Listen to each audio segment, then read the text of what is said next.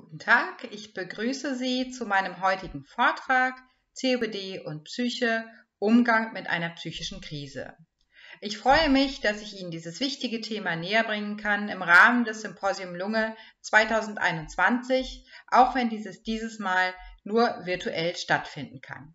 Mein Name ist Professor Nicola Stenzel. Ich bin Professorin für klinische Psychologie und Psychotherapie an der Psychologischen Hochschule Berlin und ich beschäftige mich seit langem mit dem Thema Psychopneumologie, das heißt mit psychischen Begleiterscheinungen bei chronischen Lungenerkrankungen. Zunächst möchte ich Ihnen eine kurze Übersicht über den Vortrag geben. Als erstes werde ich Ihnen etwas berichten zu potenziellen psychischen Begleiterscheinungen und Beschwerden bei chronisch obstruktiver Lungenerkrankung. Man bezeichnet das auch als psychische Komorbiditäten. Im Folgenden werde ich Ihnen einige Auswirkungen psychischer Beschwerden bei COPD bzw. potenzielle Auswirkungen berichten und im weiteren Verlauf darauf eingehen, wie man selbst sich denn im Alltag etwas Gutes tun kann. Das heißt, auf welche Weise man mit psychischen Beschwerden und Krisen umgehen kann und ab wann vielleicht auch ähm, es äh, sinnvoll ist, professionelle Unterstützung in Anspruch zu nehmen. Ich möchte zunächst mit einem Fallbeispiel starten. Das ist kein echtes Fallbeispiel, es ist aber Fällen nachempfunden, wie sie uns in unserer Arbeit begegnet sind. Stellen wir uns eine Patientin vor, nennen wir sie Frau S. Frau S ist 65 Jahre alt und ist seit einigen Jahren an chronisch obstruktiver Lungenerkrankung erkrankt. In den letzten Monaten hat ihre Leistungsfähigkeit deutlich abgenommen. Nun ist es mal wieder Zeit für den regelmäßigen Termin beim Lungenarzt. Sie hat sich etwas verspätet und hastet zum Eingang des Ärztehauses. Schon von weitem erblickt sie jedoch im Eingangsbereich das rot-weiße Schild, auf dem steht Aufzug defekt, bitte Treppen benutzen. Oh nein, schießt es ihr durch den Kopf. Ich muss in den dritten Stock, all die Treppen, das schaffe ich nie. Schon allein der Gedanke an die Anstrengung verschlägt ihr den Atem. Panik macht sich breit, die Atemnot wird stärker. Auch das noch, denkt sie. So schaffe ich das erst recht nicht. In dem Moment kommt ein junger Mann vorbei und macht Anstalten, die Treppe hinaufzusteigen. Frau S. überlegt kurz, ihn um Hilfe zu bitten, verwirft den Gedanken aber sofort wieder. Wie peinlich, denkt sie. Das kann man doch keinem erklären. Dieses Fallbeispiel ist nur ein Beispiel dafür, welche Ängste und Sorgen Betroffene berichten und auf welche Weise sich Ängste und Panik aufschaukeln können. Ich werde im Laufe des Vortrages noch einmal darauf zurückkommen. Chronische Erkrankungen wie die COPD sind generell eine große Herausforderung für die Betroffenen. Hinzu kommt, dass das Symptom Atemnot nicht nur körperlich, sondern auch psychisch sehr belastend sein kann. Aus diesem Grund leiden einige Betroffene unter psychischen Beschwerden wie einer gedrückten Stimmung oder auch Ängsten und Sorgen, einige sogar unter tatsächlichen psychischen Erkrankungen. Wie häufig treten jetzt Angsterkrankungen und Depressionen bei COPD-Betroffenen auf? Es gibt hierzu verschiedene Studien, also verschiedene Untersuchungen, die sich mit dem Thema befasst haben, sowohl in Deutschland als auch international. Diese berichten von Prävalenzraten, also Häufigkeiten von 10 bis 42 Prozent bei stabilen COPD-PatientInnen, die Depressionen entwickeln und 10 bis 55 Prozent bei stationären PatientInnen, die Angststörungen entwickeln. Das äh, sind jetzt sehr große Spannen, die man hier sieht. Das hängt ab von der Art der Studie, wo die durchgeführt ist und auch mit welchen Arten diese Depressionen und Angststörungen erfasst worden sind. Da möchte ich an dieser Stelle nicht näher drauf eingehen.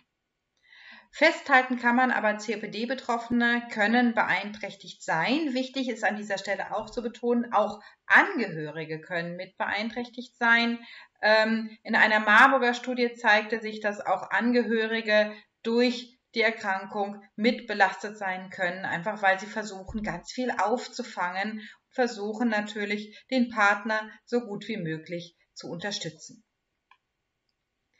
Es zeigt sich in den Studien auch, dass Angst und Depressivität bei weiblichen Patienten besonders erhöht ist und dass diese Begleiterscheinungen und Erkrankungen Auswirkungen auf die Lebensqualität und das Krankheitsverhalten der Betroffenen haben können. Jenseits von psychischen Erkrankungen wie Depressionen oder auch Angststörungen wie Panikstörung treten bei vielen Betroffenen krankheitsbezogene Ängste und Sorgen auf. Was ist damit gemeint? Mit krankheitsbezogenen Ängsten bezeichnet man Ängste und Sorge von Betroffenen, die sie auf die Erkrankung selbst bzw. auf deren Folgen beziehen. Also die Frage, wie geht es weiter mit der Erkrankung, was wird im Folgenden weiter geschehen. Eine verstärkte Beschäftigung mit dieser Thematik und auch mit der Diagnose als solches ist zum einen natürlich Teil eines regulären Verarbeitungsprozesses, einfach vor dem Hintergrund der Diagnose, die die Betroffenen erhalten haben. Aber auch diese krankheitsbezogenen Ängste können sich auf ein klinisch relevantes Ausmaß steigern und dann auch wiederum zu einer Belastung für die Betroffenen werden. Welche krankheitsbezogenen Ängste kann man denn unterscheiden? Das heißt, welche Themen bewegen Betroffene besonders? Wir haben hierzu auch in Kooperation mit der Selbsthilfegruppe COPD Lungenemphysem mehrere Untersuchungen durchgeführt und folgende Themen haben uns Betroffene berichtet. Zum einen ging es um die Angst vor Atemnot, also einem der Kernsymptome der Erkrankung. Betroffene berichteten uns, wenn sie kurzatmiger werden, bekommen sie zum Beispiel Angst, machen sich Sorgen, eine Erkältung könnte im Anmarsch sein oder die Erkrankung könnte jetzt akut schlimmer werden. Das ist die Angst vor Atemnot, jetzt in Kürze erklärt. Ein weiteres Thema, was Betroffene bewegte, war die Angst vor körperlicher Aktivität. Hier berichteten uns Betroffene, jegliche körperliche Anstrengung zu vermeiden oder Aktivitäten, die die Atmung beschleunigen, vermeiden, zu vermeiden. Ein weiteres Thema, von dem Betroffene berichte, war die sogenannte Progredienzangst oder auch Angst vor dem Fortschreiten der Erkrankung. Betroffene berichteten zum Beispiel zu befürchten, pflegebedürftig werden zu können oder auch, dass sie anderen Menschen zur Last fallen könnten und dass sie das sehr belasten würde. Darüber hinaus berichteten Betroffene Angst vor Ausgrenzung und Isolation. Hier ging es darum, dass Betroffene berichteten, sich mit der Krankheit alleine gelassen zu fühlen oder dass sie glaubten, dass andere Menschen gar nicht nachvollziehen können, wie es ihnen eigentlich damit geht. Und schließlich war auch noch ein wichtiges Thema Angst und Sorge in Bezug auf die Sauerstofftherapie. Hier berichteten Betroffene beispielsweise, dass sie sich schämen würden im Umgang mit dem Sauerstoffgerät oder dass sie Hemmungen hätten, dieses Sauerstoffgerät in der Öffentlichkeit zu benutzen und dass sie das sehr stark belasten würde. Das waren also die Themen, jetzt in Kürze dargestellt, die Betroffene in unseren Untersuchungen uns berichtet hatten und die Themen, die diese im Umgang mit ihrer Erkrankung und auch mit dem Umgang mit der Prognose und dem Fortschreiten der Erkrankung besonders belasten würden. Wie bereits weiter oben berichtet, können solche krankheitsspezifischen und krankheitsbezogenen Ängste sich eben steigern und können dann zu einer weiteren Belastung für die Betroffenen werden und sich auch auf das Krankheitsverhalten der Betroffenen und die Lebensqualität der Betroffenen negativ auswirken. Im Folgenden möchte ich Ihnen verdeutlichen, auf welche Weise sich COPD-Symptome wie Atemnot und Angstzustände auf der anderen Seite gegenseitig verstärken können. Beide haben eine beschleunigte Atmung und Atemnot als gemeinsames Symptom. Und manchmal kann es schwierig sein zu erkennen, was in einer bestimmten Situation der Auslöser von Symptomen ist. COPD oder vielleicht auch Angst erinnern wir uns an das eingangs dargestellte Fallbeispiel Frau S., die zu spät in die Arztpraxis kam in den Eingangsbereich und diesen Fahrstuhl wahrnahm. Angst kann durch verschiedene Dinge im Alltag ausgelöst werden. Durch bestimmte Situationen, Im Falle von Frau S wäre das also die Situation, dass sie in den Eingangsbereich der Arztpraxis kommt ähm, und dass sie das große Schild wahrnimmt, dass der Aufzug kaputt ist. Die Praxis ist oben im vierten Stock. Was passiert nun? Frau S nimmt dieses Schild wahr und dann gehen ihr sofort bestimmte Gedanken durch den Kopf. Sie bewertet das Ganze als eine für sie bedrohliche Situation. Sie denkt dann sowas wie, das schaffe ich nie. Und bekommt in dem Moment natürlich Angst, weil sie in einer äh, Situation ist, wo sie körperlich nicht mehr so belastbar ist und weil sie wirklich jetzt befürchtet, dass sie nicht rechtzeitig zu dem für sie sehr wichtigen Termin kommt. Das ist eine sehr nachvollziehbare Reaktion in der Situation. Bei ihr steigert sich das sogar zu einer Panik. Warum wissen wir nicht. Vielleicht ist sie vorher schon mal zu spät gekommen. Vielleicht weiß sie, dass das der letzte Termin ist an diesem Tag, wie auch immer. Aber bei ihr steigert sich das sofort zu Panik, die mit bestimmten physiologischen Veränderungen einhergeht. Das sind einfach körperliche Prozesse, die stattfinden bei Angst, also die sogenannte körperliche Angstreaktion. Und dadurch werden eben verschiedene vegetative Symptome ausgelöst, wie zum Beispiel Herzklopfen, Schwitzen oder eben auch Atemnot. Und da sind wieder, wieder da äh, an der Stelle, von der ich vorhin gesprochen hatte, dass eben äh, Atemnot sowohl durch Angst als auch im Kontext einer COPD ausgelöst werden kann. Was passiert nun? Sie nimmt es natürlich wieder wahr, dass die Atemnot stärker geworden ist und äh, denkt dann vielleicht Dinge wie, oh Gott, äh, jetzt wird es noch schlimmer, wie soll ich das schaffen? Das heißt, das Ganze dreht sich in einer Spirale, es kommt zu einem Teufelskreis. Die Angst wird stärker, es kommt zu noch stärkeren körperlichen Reaktionen und dann kommt irgendwann eine Reaktion der Person, wie beispielsweise eine Vermeidung der Situation oder ähnliches. Das ist was, was wir den Teufelskreis der Angst nennen. Wie geht das Ganze jetzt weiter? Ich habe gesagt, auf diese Art und Weise kann sich das Ganze aufschaukeln. Jetzt ähm, kann das unterschiedliche Folgen haben. Wenn wir tatsächlich eine Person haben mit einer Angsterkrankung, dann wird diese wahrscheinlich zu einem ausgeprägten Schon- und Vermeidungsverhalten neigen. Dies kann zwar Angst und auch Atemnot kurzfristig verringern, hat langfristig aber auch negative Folgen. Denn durch ausgeprägtes Schonverhalten nimmt die körperliche Kondition noch weiter ab. Der Körper wird unter Umständen noch weniger belastbar und die Muskeln werden möglicherweise weiter geschwächt. Dadurch wird aber Atemnot auch in weniger anstrengenden Situationen größer, was wiederum zu einer Verstärkung der Angst bei dafür anfälligen Personen und zu einer weiteren Vermeidung körperlicher Aktivitäten und Verschlechterung des Allgemeinbefindens führen kann. Möglicherweise folgen weitere Symptome wie beispielsweise Depressivität. Das heißt, hier haben wir einfach einen Kreislauf, der sich unter Umständen verselbstständigen kann. Wie wir eingangs schon gehört haben, können im Kontext einer COPD auch Niedergeschlagenheit und gedrückte Stimmung bis hin zu Depressivität auftreten.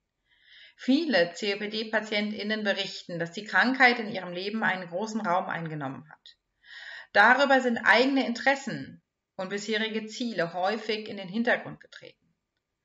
Zudem haben die körperlichen Einschränkungen teilweise einen großen Einfluss auf den Alltag der Betroffenen. Diese können häufig immer weniger Aufgaben im Alltag übernehmen. Liebgewonnene Gewohnheiten und Hobbys sind unter Umständen nur noch eingeschränkt möglich. Die Betroffenen haben weniger positive Erlebnisse und das kann natürlich dann wiederum einen Einfluss auf die Stimmung haben.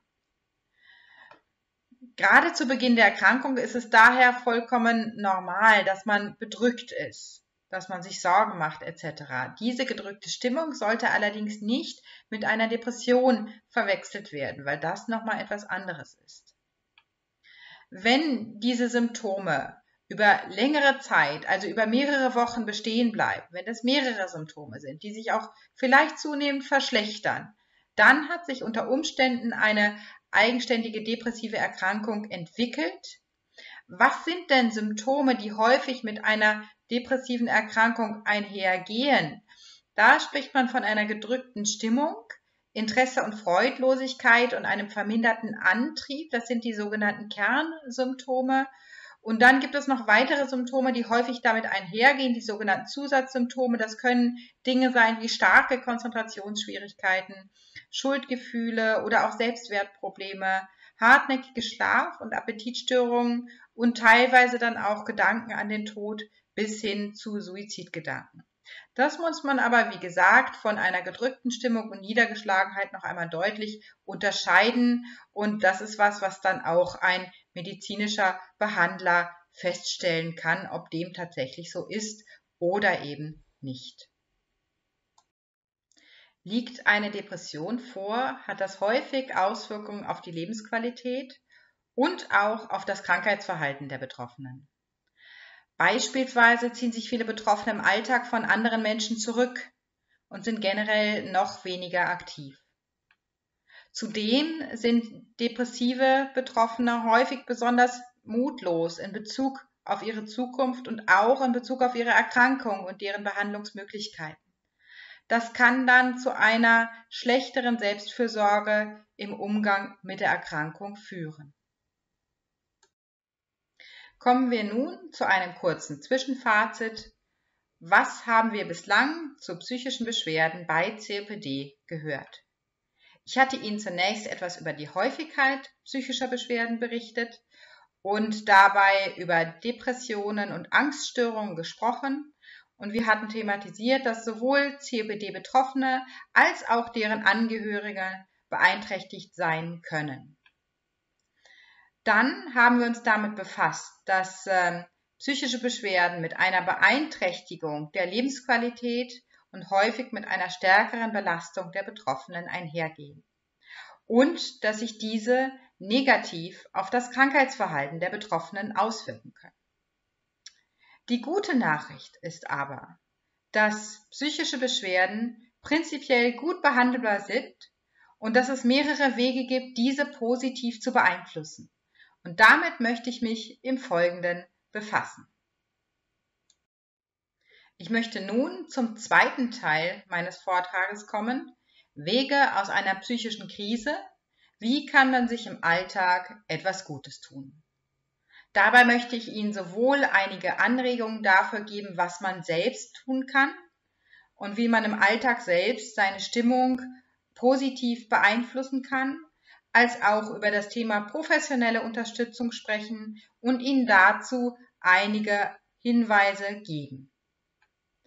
Ich werde also im Folgenden zunächst über das Thema Selbstfürsorge sprechen, also die Frage, wie kann man sich selber etwas Gutes tun, wie kann man zur Stabilität seiner Stimmung beitragen? Und auch wie kann man mit Ängsten im Alltag umgehen dann werde ich mich dem Thema soziale Unterstützung widmen, also Unterstützung durch andere Personen erhalten. Und dann noch über das Thema professionelle Hilfe sprechen. Kommen wir zunächst zum Thema Selbstfürsorge. Ich möchte Ihnen einen kurzen Überblick darüber geben, was Betroffene selbst tun können, um ihre Stimmung positiv zu beeinflussen. Betrachten wir zunächst den Umgang mit Veränderungen. Die körperlichen Einschränkungen durch die Erkrankung haben oft einen großen Einfluss auf den Alltag. Deshalb ist es wichtig, dass Betroffene herausfinden, was ihnen gut tut und was gleichzeitig unter den gegebenen Umständen auch umzusetzen ist. Ich weiß, das ist leichter gesagt als getan. Vielleicht können Sie Dinge wiederentdecken, die ihnen früher einmal Spaß gemacht haben, aber in den letzten Jahren etwas zu kurz gekommen sind, ist. Wichtig ist es dabei auch, sich selbst Zeit für den Anpassungsprozess an die Situation zu geben. Viele Betroffene haben uns berichtet, dass ihnen dabei auch der Austausch mit anderen, beispielsweise in einer Selbsthilfegruppe, sehr geholfen hat. Auch ein gezieltes Bewegungstraining, wie beispielsweise Lungensport, kann positive Effekte auf die Stimmung haben. Auch ein leichtes Konditions- und Ausdauertraining erzielt häufig positive Effekte. Wichtig ist es aber, dass hier eine genaue Absprache mit dem behandelnden Arzt oder behandelnden Ärztin erfolgt, um eine Überforderung zu vermeiden und das individuell richtige und passende Programm zu finden. Das heißt, Wichtig ist es hier, individuelle Belastungsgrenzen zu kennen und auch zu berücksichtigen. Darüber hinaus können auch eine Optimierung der Ernährung und Schlafhygiene helfen, die Stimmung positiv zu beeinflussen. Es hat sich gezeigt, dass ausgewogene Ernährung sowohl den körperlichen Zustand als auch die psychische Verfassung positiv beeinflusst. Ein optimales Ernährungsprogramm ist aber immer ein individuell auf die jeweilige Person abgestimmtes Programm. Deswegen ist es wichtig, sich hierzu von einem medizinischen Behandler oder einem Diabetologen, Diabetologin beraten zu lassen. Auch das Thema Schlafhygiene kann wichtig sein. Was bedeutet das? Schlafhygiene befasst sich mit der Frage, was man tun kann, um einen gesunden, erholsamen Schlaf zu ermöglichen oder zu fördern und damit Schlafstörungen vorzubeugen oder diese zu beheben. Die Strategien, die dabei besprochen werden, reichen von einer angemessenen Gestaltung des Schlafzimmers, also für gute Lichtverhältnisse oder eine ausreichende Belüftung zu sorgen, über Tipps wie, dass man untertags möglichst wenig schlafen sollte, äh, bis hin dazu, dass man am späten Nachmittag keine koffeinhaltigen Getränke mehr zu sich nehmen sollte. Aber auch das ist wieder eine sehr individuelle Sache und hängt mit der individuellen Situation der jeweiligen Person zusammen. Deswegen ist es auch wichtig, sich hierzu von einem medizinischen Behandler beispielsweise oder auch von Ernährungsmedizinern, Ernährungsmedizinerinnen beraten zu lassen. Insgesamt ist es mir wichtig zu betonen, dass es sich hier um eine Auswahl von Strategien handelt, die als Anregung zu verstehen sind. Jeder Betroffene kann und sollte individuell entscheiden, welche Dinge für ihn oder sie persönlich relevant und auch umsetzbar scheinen. Wichtig ist es aber, sich erreichbare Ziele zu setzen und auch kleine Fortschritte anzuerkennen.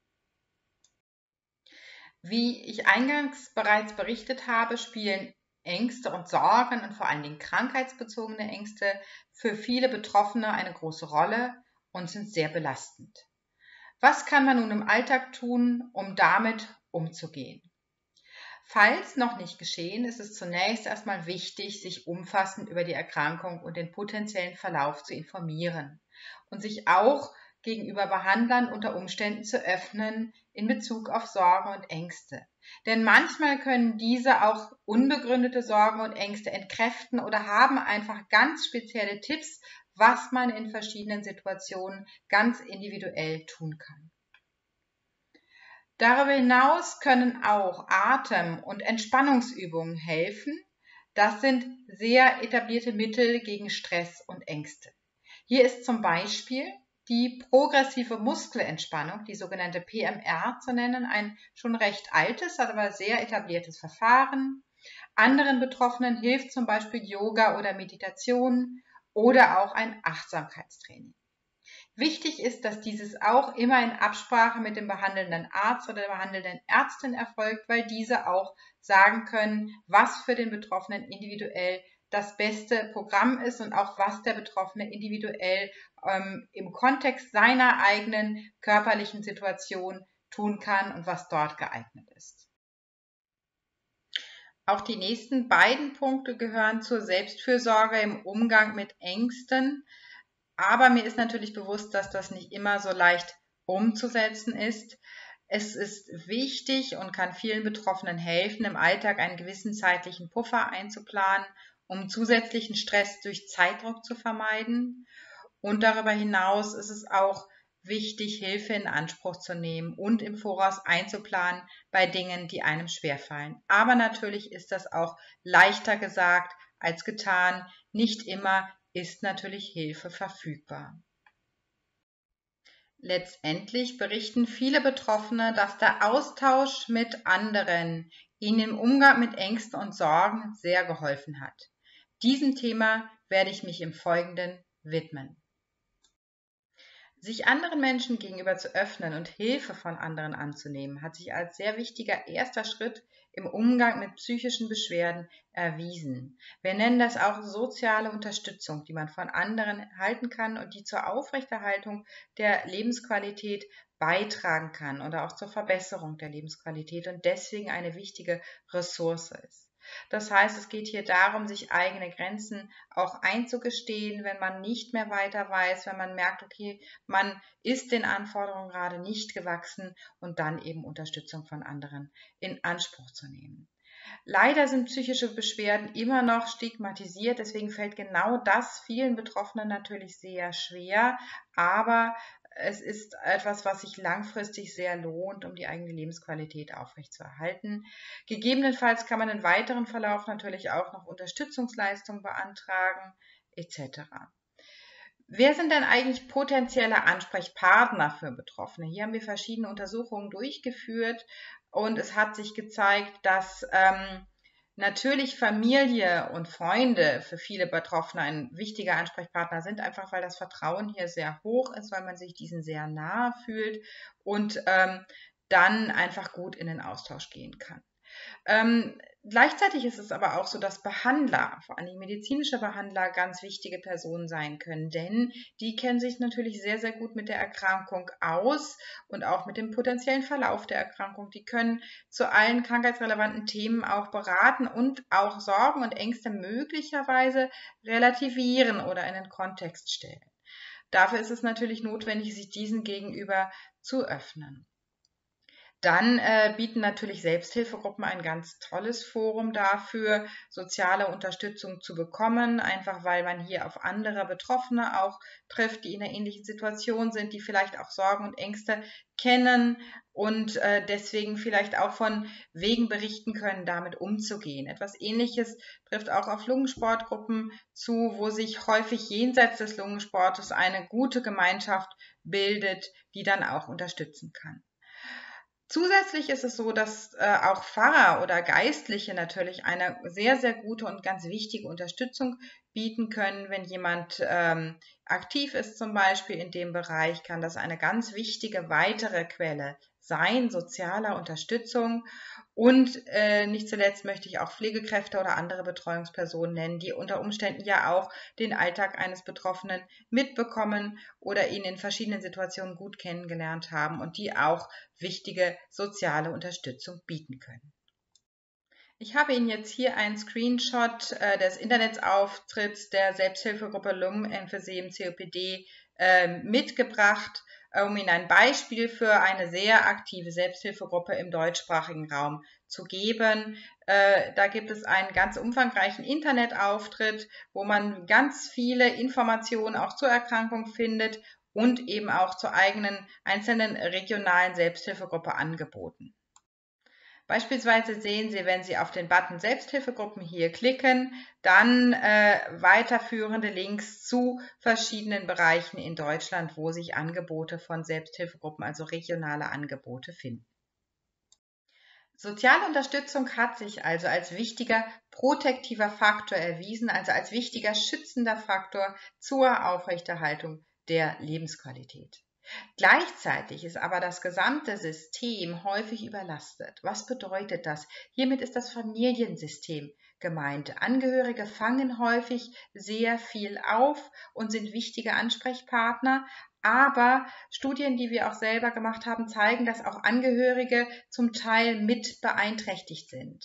Aus diesem Grunde ist es sehr zentral für Angehörige, dass diese die Verantwortung nicht alleine tragen. Das heißt, auch hier ist es wichtig, sich zu vernetzen, wie ich vorhin gesagt habe, mit verschiedenen Ansprechpartnern und einfach auch die um Rat und Unterstützung fragen zu können und dass Angehörige sich auch Auszeiten zugestehen und Pausen gönnen. Denn ein altes Sprichwort sagt ja schon, man kann nur dann für andere Menschen da sein, wenn man auch für sich selber ausreichend Sorge trägt. Und das ist was, was an dieser Stelle wieder sehr deutlich wird, wie unsere Studien gezeigt haben. Ja, nun stellt sich natürlich die Frage, ab wann denn ein Betroffener oder eine Betroffene professionelle Unterstützung in Anspruch nehmen sollte. Also wann reichen Dinge wie Selbstvorsorge oder auch soziale Unterstützung nicht mehr aus. Äh, letztendlich kann man sagen, wenn Beschwerden bereits länger anhalten, wenn die zunehmen oder wenn die Betroffenen sich durch Ängste, Sorgen und Stimmungsschwankungen zunehmend stark beeinträchtigt fühlen. Das ist ganz wichtig, den ärztlichen Behandler oder die ärztliche Behandlerin darauf anzusprechen, weil diese Person dann gemeinsam gucken kann mit dem oder der Betroffenen, ob die Person professionelle Unterstützung benötigt und auch überlegt, welche therapeutischen Alternativen am besten zu dieser Person oder zu der Symptomatik passen. Da gibt es nämlich unterschiedliche und auch überweisen kann. Insgesamt ist es wichtig zu betonen, dass die Kosten für eine psychotherapeutische als auch medikamentöse Behandlung in der Regel von der Krankenkasse übernommen werden. Das heißt, hier ist es so, dass äh, das einfach in dem normalen Behandlungsangebot in Deutschland von den Krankenkassen abgedeckt wird, was ganz wichtig zu wissen ist. Ja, was gibt es denn für Behandlungsmöglichkeiten? Hier sind zum einen psychotherapeutische Ansätze als und zum anderen medikamentöse Ansätze zu nennen. Ich möchte zunächst auf psychotherapeutische Ansätze eingehen. Was sind potenzielle Inhalte einer Psychotherapie? Ähm, zum einen, das, das ist natürlich individuell immer verschiedene und hängt von der Art der Symptomatik ab, unter der ein Betroffener oder eine Betroffene leidet. Zum einen können das ähm, therapeutische Gespräche sein über Krankheitsbewältigung und auch Veränderungen in der Lebensführung, die mit der COPD verbunden sind. Ähm, es geht häufig auch um allgemeine oder individuelle Zusammenhänge zwischen Angst, Depression, COPD, also der Grunderkrankung, inwiefern sich das zum Beispiel aufschaukeln kann oder auch ähm, wie diese Dinge zusammenhängen können. Ähm, und häufig werden einfach individuelle Bewältigungsstrategien entwickelt. Also individuell, weil das für jede Person auch wieder was äh, eigenes sein kann und natürlich auch passen muss zum Umgang mit Ängsten, Sorgen und gedrückter Stimmung, die dann gemeinsam mit dem oder der Behandlerin entwickelt werden und auf welche Weise kann man jetzt psychotherapeutische Hilfe finden? Man kann das natürlich zum einen mit dem oder der medizinischen Behandler, medizinischen Behandlerin absprechen und auf diese Art und Weise äh, nach Wegen und Ideen suchen. Darüber hinaus gibt es verschiedene andere offizielle Stellen, die Hilfe anbieten, zum Beispiel die Bundespsychotherapeutenkammer. Sie sehen hier die Internetadresse wege zur Psychotherapie.org. Das ist eine Infoseite, äh, wo von offizieller Stelle her einfach ganz viel Informationen zu Psychotherapie generell gegeben wird und wo auch Wege beschrieben werden, wie man denn an einen Psychotherapeuten kommt und was dann die wichtigsten Schritte sind. Kommen wir nun zur medikamentösen Behandlung. Auch diese ist möglich und es gibt sehr viele wirksame Medikamente gegen psychische Beschwerden, bei denen auch kein Abhängigkeitsrisiko besteht. Der ärztliche Behandler, wenn man sich an diesen wendet, der kann auch hier eine Empfehlung aussprechen oder an einen zuständigen Facharzt überweisen, der dann gemeinsam mit dem oder der Patientin überlegen kann, welche Medikamente die richtigen in dem individuellen Fall sind. Wichtig ist hier, bitte konsultieren Sie immer einen Arzt oder auch Facharzt, bevor Sie Substanzen oder Medikamente gegen psychische Beschwerden einnehmen, denn dieser Arzt oder Facharzt kann eben potenzielle Wirkungen, Nebenwechselwirkungen ganz genau einschätzen und wird Sie sehr gerne beraten. Und hier gibt es eben viele sehr gute Möglichkeiten, die man dann besprechen kann. Ich komme nun zum Ende meines Vortrages und fasse das nochmal zusammen. Der Titel war ja COPD und Psyche Umgang mit einer psychischen Krise. Womit haben wir uns beschäftigt in diesem Vortrag und was war die Quintessenz? Zum einen hatte ich Ihnen berichtet, es äh, bestehen erhöhte Raten in, bezüglich Angst und Depressivität bei Menschen mit äh, COPD. Und diese können auch Folgen für die Lebensqualität der Betroffenen haben, für das Krankheitsverhalten und für die Therapie. Gleichzeitig ist es so, dass äh, es gute Behandlungsmöglichkeiten gibt psychischer Beschwerden und dass man bei niederschwelligen psychischen Beschwerden auch selber schon viel tun kann mit Selbstfürsorge äh, oder auch sozialer Unterstützung. Und wenn die Belastung anhält oder steigt, dann sollte man sich professionelle Hilfe suchen und gemeinsam mit einem Behandler oder einer Behandlerin individuelle Wege zum Umgang mit den psychischen Beschwerden finden. Ich danke Ihnen für die Aufmerksamkeit bei diesem Vortrag. Bei Fragen können Sie sich gerne wenden an meine E-Mail-Adresse, die Sie hier unten eingeblendet finden. Vielen Dank.